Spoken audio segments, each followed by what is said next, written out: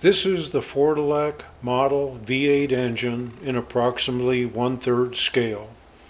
After finishing the initial build almost a year ago, the engine has undergone numerous design changes to improve the running performance. The combustion chambers were changed twice to increase the compression.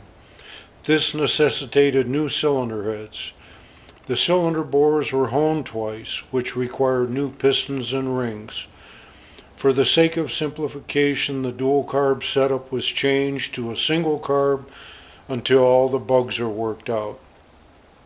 The original design was modeled after the late Ford flathead V8 8BA engine with the concession of making the exhaust similar to the flathead Cadillac of that era. Machining from solid made making the Ford exhaust ports in the block virtually impossible.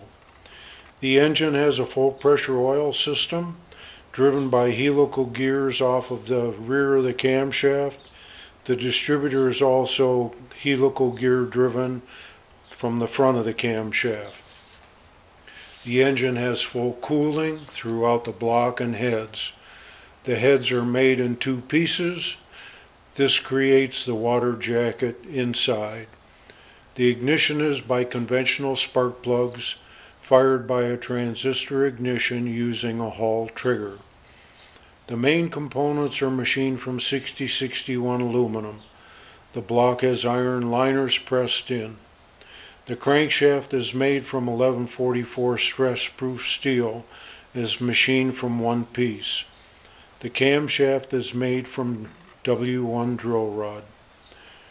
All the bolt-on components, the starter, the generator, the fuel pump, are non-functional but are there to create a reasonably accurate running, running miniature engine.